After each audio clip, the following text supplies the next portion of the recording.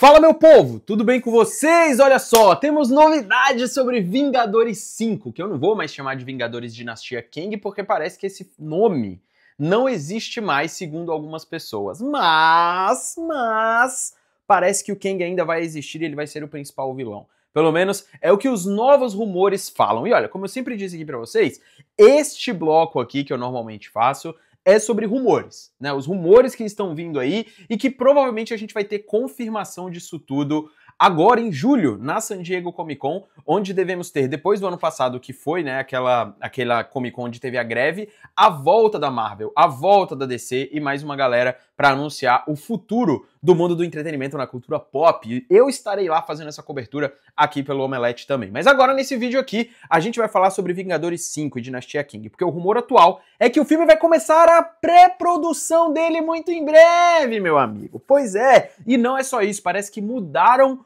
o que querem fazer com o Kang, porque não vai ter mais um ator só, vão ter vários. Vamos lá comigo, ó. Tudo isso aqui são rumores de fontes que eu vou explicar para vocês a credibilidade ou não delas, tá? Para que você consiga entender exatamente de onde vêm esses rumores. Vamos lá no Comic Book Movie, que ele juntou alguns desses rumores aqui, mas o principal deles é isso aqui, ó. O Avengers 5 está muito próximo de ter um diretor anunciado, porque o Daniel Destin, Destin Daniel Cretton que era o cara que fez o Shang-Chi, saiu. E ele deve ser anunciado muito em breve. Assim como a produção do filme deve começar agora, no mês que vem. Tu acredita num negócio desse? Mês que vem, mano. Em junho ou julho já deve começar. Ó, vamos lá. O Scooper, My Time Shine Hello, compartilhou uma atualização sobre Avengers 5 hoje, alegando que a pré-produção do longa começa no próximo mês. Isso vem depois que disseram que as câmeras começarão a rolar em dezembro de 2024 e janeiro de 2025. Não duvido que isso aconteça, gente, tá? Este filme, ele precisa sair logo. Ele precisa sair em 2026. Isso, a pré-produção precisa acontecer agora. Agora, isso precisa rolar, sabe? Tipo, a Disney, ela tem uma, uma um calendário para cumprir. Então, isso precisa acontecer. Ó, a maior notícia pode ser o fato de que o presidente do Marvel Studios, Kevin Feige, está supostamente perto de ter um diretor assinando para dirigir o filme. Infelizmente, ainda não há, não há nenhuma palavra sobre quem é, embora apostemos em um anúncio que chegará na, uma negociação chegará nos próximos dias. O My Time Shine Hello, vou falar para vocês. De todos os scoopers, né, tipo repórteres que dão ou perfis que vazam essas coisas, ele é o que mais acerta, tá? Muito mais até do que o Daniel Richman, que é o Daniel RPK tá? Ele, assim, é muito difícil o My Time Shine Hello errar coisas da Marvel, tá? Da Marvel quando ele crava coisas assim. Então eu acho que é interessante a gente saber o que, que vai rolar aqui, ó. Pouco se sabe sobre os próximos filmes do Vingadores, embora um boato recente afirme revelar as identidades dos cinco personagens principais dessa aventura. Eles são Capitão América, Homem-Aranha, Cavaleiro da Lua, o Hulk e a She-Hulk tá? Nenhum contexto adicional foi fornecido, embora tenha relatado anteriormente que o Spider-Man liderará sua própria equipe num filme mais aterrado, que seria mais pé no chão. O Capitão América deve absolutamente estar na frente e no centro, enquanto está na hora de conversarmos com o Moon Knight novamente depois daquele grande cliff, cliffhanger, né, gancho, do Jack Lockley. Como este filme pode abordar isso e o lugar do Moon no MCU mais amplo ainda está para ser visto. É realmente difícil a gente entender o que vai acontecer aqui. Mas olha só, Vingadores A Dinastia Kang está atualmente programado para chegar aos cinemas em 1 de maio de 2026. Esse filme tem que começar a ser filmado ontem, tá? Com Vingadores Guerras Secretas, programados para 7 de maio e 7 de maio de 2027. Como sempre, fique atento aqui. Essa daqui é uma das atualizações. Gente, e, e o, o, Daniel Richman falou há alguns meses, é, algumas semanas, na verdade, que o Avengers 5 os detalhes da história que ele deu. É que é o seguinte: o filme seria mais pé no chão, mas ia ter elementos do multiverso. Que isso seria o que, basicamente? Trazer o Kang, trazer é, versões do Kang, mas com os heróis da Terra que a gente conhece, sem precisar ir para outras dimensões. O que iria, né, iria realmente de encontro à informação de que a gente teria um time de terráqueos, digamos assim, que foi toda essa galera que você viu aqui o Hulk, a She-Hulk, né? Lembrando que o Hulk agora tá na Terra de novo. A gente teria o Capitão América, o Homem-Aranha, e aí provavelmente eles podem juntar aí o Demolidor, a Kate Bishop, é, a Miss Marvel e tudo mais. Eu não acho difícil isso acontecer, tá, gente? Eu acho que isso é bem provável. Mas vamos para a notícia aqui que a gente viu de uma fonte que não é tão confiável, mas que eu acho que vale a gente especular em cima disso. Esse perfil, Holyfield News, ele fala o seguinte: o conselho de Kangs vai estar em Avengers 5, tá? Mas com atores diferentes interpretando o Kang. E um grande ator, um high budget actor, tipo um ator de alto orçamento, vai ser responsável por ser o Kang Prime, que é a principal variante do Kang, tá? Isso é o que aconteceria. Seria uma saída boa, eu diria, tá? Boa para a questão do Jonathan Majors. Recapitulando aqui rapidinho, né, gente? O Jonathan Majors aqui, que foi o Kang, que ele interpretaria vários, né, to todas as versões do Kang. Eu sempre achei isso uma ideia muito massa. O cara foi condenado, né, pela por agressão à namorada, etc, etc. E o cara, tipo, não vai mais participar dessas coisas. Ele tá fora, né? Ele não é mais o Kang. E o que deve acontecer nos próximos meses é o anúncio oficial não só de quem vai substituir o Jonathan Majors, mas como a Marvel vai fazer essa substituição. E eu não acho improvável que aconteça isso. Vários atores, vários Kangs, e você tem várias versões dele ali. Acho isso muito, muito é plausível de acontecer. Não é provável porque eu não tenho essa informação, mas eu acho plausível disso acontecer. E aí você tem um Kang Prime, um cara mais cabuloso, né, que deveria ser o Jonathan Majors, e não vai ser.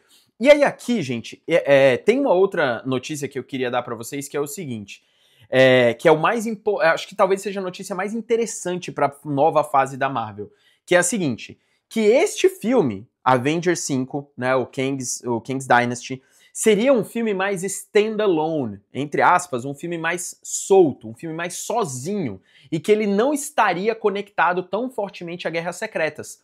Por quê? porque a Marvel estaria pensando em fazer mais filmes dos Vingadores para no mundo de Guerras Secretas. E isso, gente, me dá a impressão e a ideia de que a gente teria mais ou menos o mesmo esquema, da saga do infinito, que seria o quê? Um primeiro filme sobre uma nova equipe dos Vingadores, né? Que aí seria esse Dinastia Kang. Aí você faz outros três filmes. Você faz outros três filmes que sejam de equipes dos Vingadores, mas que basicamente você faz um filme dos Vingadores aqui, que aí pode ser, por exemplo, é, sei lá, apresentar o Doctor Doom ou alguma coisa assim, e os outros dois seriam Guerras Secretas, parte 1 e parte 2, entendeu? Que foi o que aconteceu com a Guerra do Infinito, que na saga do Infinito, que foi o quê? Vingadores 1, é, Era de Ultron, e você teve o Vingadores Guerra Infinita, que depois virou Vingadores Guerra Infinita e Ultimato. A Marvel tem que fazer isso. Escuta, Kevin Feige. É isso que tem que fazer entendeu? Forma a nova equipe dos Vingadores agora em King's Dynasty. Aí você vai ter toda uma treta, sabe? Um monte de treta, pá, volta os caras do, do, do Quarteto Fantástico, tem o cara do Doutor Estranho, faz ali um mundo todo, uma treta gigante para acontecer no, no, no segundo, no Vingadores 6, sabe? E você apresenta um novo vilão, que seria o Beyonder, por exemplo. Ou talvez o Doctor Doom.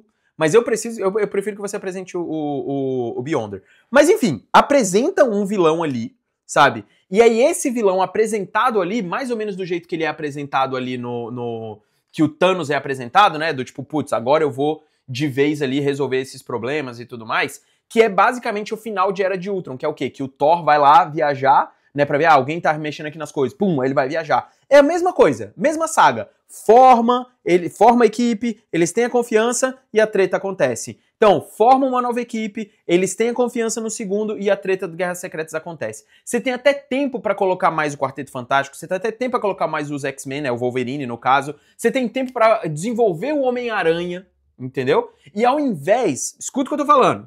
Ao invés de você, de você usar os filmes do Homem de Ferro e os filmes do Capitão América como a linha principal da narrativa, você usa os filmes do Doutor Estranho e do Homem-Aranha. Escutou? Olha só, por quê? O Doutor Estranho já começou com o Multiverso da Loucura. Ele já mostrou o Kang, ele já mostrou tudo aquilo que a gente tem do Loki.